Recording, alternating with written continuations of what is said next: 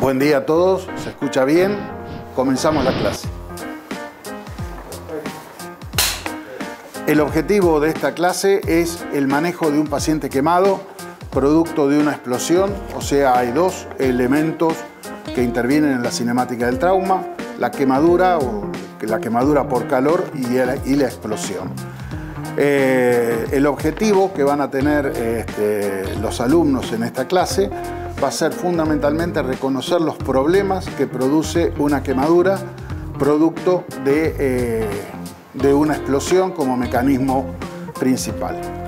Ahí van a entrar, eh, esto es un paciente que se recibe en la guardia de un hospital, ¿no es cierto? Que puede ser en cualquier hospital de cualquier ciudad o de cualquier población, ¿no es cierto? Y va a entrar un equipo constituido, un equipo de salud constituido por dos médicos, ¿no es cierto? Y dos enfermeros, ¿está?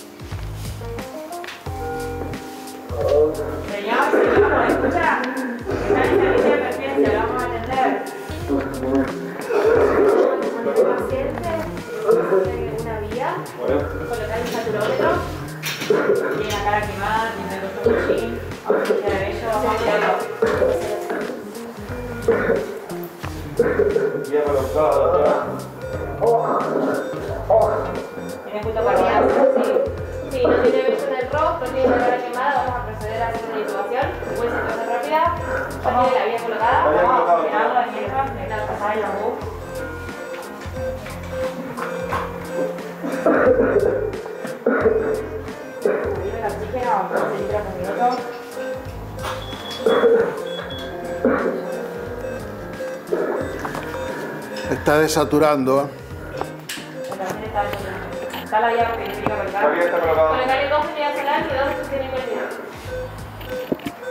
dos de Miguel y dos de hecho. Ya está. Empezamos con circulaciones, doctora.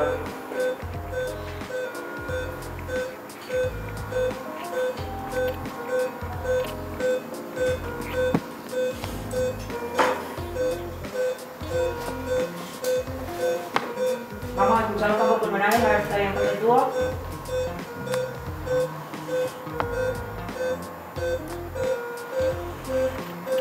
No hay entrada de aire en ese campo pulmonar izquierdo. Está selectivo, sacar un poquito.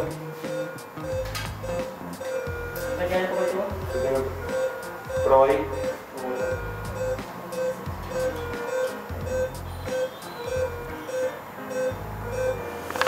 Ahí hay entrada.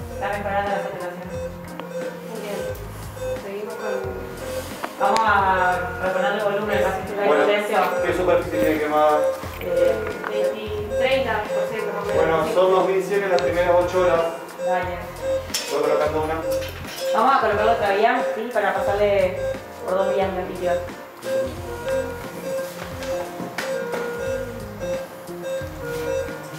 relación nuclear. Vamos a colocar una sonda vesical, ¿sí? Para controlar la reposición de volumen. ¿No hay contraindicación para la sonda? No. No.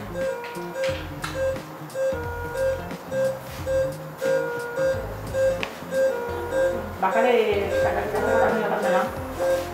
Vamos a detenerle bien los positivos.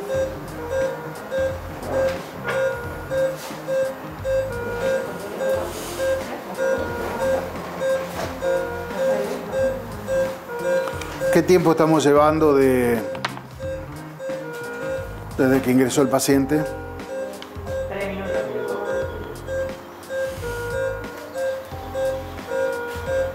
No mejora la reposición del paciente.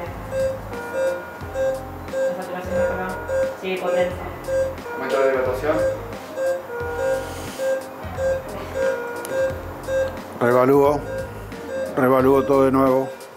Vía aérea, vía permeable, está saturando en el 24. Pulso, pulso de 99. Digo la presión. Auscultación. Acuérdense del mecanismo del trauma. De la explosión. No entra aire del lado izquierdo.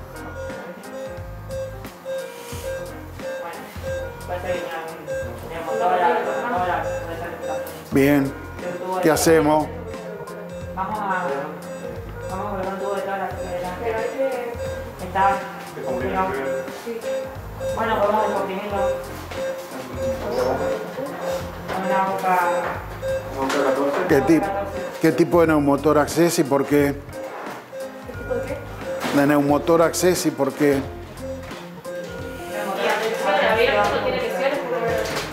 Bien, bien. Tiene un poco de celular, de- Lo colocamos. Vamos a ver el ángulo de bis.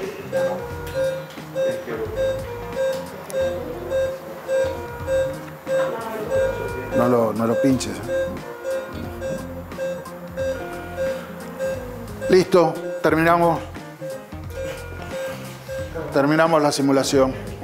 Vamos a comenzar con, la, con el debriefing, o sea, con lo que ustedes hicieron en ese escenario. Bien, ¿cómo se sintieron? Enea, Nervioso.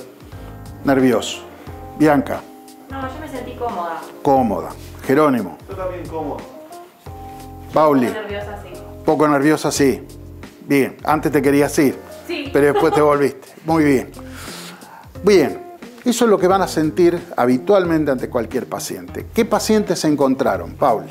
Un gran quemado. Un gran quemado. Un quemado, tórax quemado. Bien, ¿por qué definís el gran quemado? Por la superficie corporal, principalmente el gran quemado, más de 30%. Ajá. Y en este caso, aparte que se agregaba, Se agregaba un politrauma por una explosión. por una explosión, correcto. Bien. ¿Qué otra cosa vos observaste, Bianca? Tenía un paciente con una vía aérea dificultosa. Dificultosa. ¿Por qué dificultosa? Y porque tenía un paciente que había ¿Dificultosa o comprometida? comprometida. Comprometida. Bien. ¿Por qué te das cuenta de que estaba comprometida? Y porque el paciente bueno, tenía secreciones, tenía culto carbonáceo, Ajá. eh, tenía o sea, todo lo que el vello facial estaba quemado. Ajá. ¿Y cómo procede Jerónimo ante una vía de ese, de ese, de ese tipo? Lo principal es asegurar la vía aérea, entonces lo que procedimos es aspirar las secreciones para liberar la vía aérea y al ver al paciente que sigue desaturando, que no satura bien el oxígeno en sangre, procede a asegurar una vía aérea definitiva, que es la intubación orotraqueal que es la que es procedida. ¿Con qué técnica se utiliza para la intubación orotraqueal en ese paciente que venía consciente? Lo primero teníamos que preoxigenarlo. ¿De qué técnica? ¿Cómo se llama la técnica? No los pasos de la técnica, la técnica. Rápida. ¿Cuál es la primera parte de esa? la preoxigenación. La preoxigenación. ¿Ustedes creen que hicieron bien la preoxigenación? ¿Cómo se hace la preoxigenación? Creo que sí, le hicimos bien, ¿o no? Pulsando con, con, oxígeno al 100%. Con oxígeno al 100%. Ajá. ¿Qué, qué pretende? ¿Cuál es el objetivo de la preoxigenación? Lavar el nitrógeno Lavar el nitrógeno, correcto. Bien. ¿Qué más? y hacer que el paciente aguante el periodo va a estar sin respirar hasta que lo. Correcto, perfecto. Bien. ¿Hubo algún error en esa preoxigenación? ¿Ustedes vieron algún procedimiento que eh, no, les, no les convenció? ¿Cómo evalúan que esa preoxigenación es adecuada? La saturación de oxígeno Una esa. Expansión del tórax. Sí, está bien. La expansión del tórax es la más importante, ¿no es cierto? Y no expandía adecuadamente el tórax. Entonces, ¿qué era lo que podía estar pasando?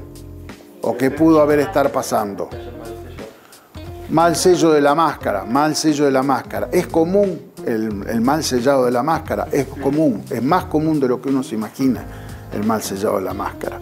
Por eso el equipo siempre tiene que estar atento para ver eso, para ver cómo expande el tórax. Esos signos que nos dan indirectos de ciertos procedimientos son sumamente importantes. ¿Sí? Bien, concluyendo, ¿se llevan algo de esto, de hoy? ¿De la simulación de hoy? Todo. Eh, es poner en práctica todo lo que leemos y en, en- en el ambiente en el que lo tenemos que llevar a la práctica después. Con tiempo, con tiempo, con Con tiempo. nervios, Bien. Siendo varios, claro. ¿Cómo fue la secuencia, la comunicación entre nosotros? ¿Fue correcta esa comunicación? Porque era uno de los puntos que íbamos a evaluar. Sí, yo creo que fue correcta y tomamos las indicaciones y cada uno sigue analizando una, i- un ida y vuelta. ¿Cómo se llama eso, Bianca? Eh, comunicación cerrada. Comunicación cerrada. Es parte de la gran comunicación que debe existir en situaciones críticas. Hice tal cosa, porque si no, abriste el oxígeno. Sí lo abrí y no lo había abierto, o sea que ¿eh? Esas son cosas que hay que tenerlas siempre presentes. O sea, dos cosas nos llevamos. La mascarita y las comunicaciones cerradas, eso es lo más importante de todo. ¿eh? Bien, chicos, terminamos por hoy.